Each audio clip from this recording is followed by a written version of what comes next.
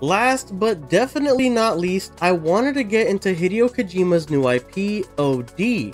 This game recently at the Game Awards got confirmed as Hideo Kojima's newest project being worked on by him and Jordan Peele, and has already displayed some of the highest end in-game facial feature graphics, but other than that, and the names of some of the actors they revealed at the event, they didn't tell us much about the game. That is until Hideo Kojima's newest tweet.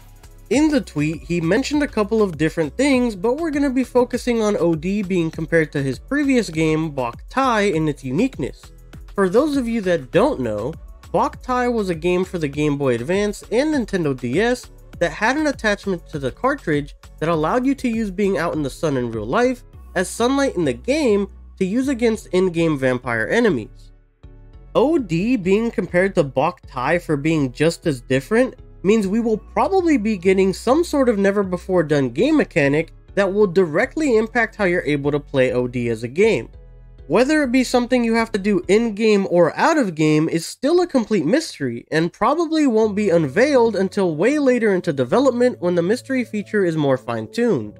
Nonetheless, I am super excited for more news on this project. I'm really glad to see someone swing for the fences and take a risk to try something completely new immersive, and interactive, and can't wait to see what they've thought up and what game mechanics are in store for us when the game fully releases.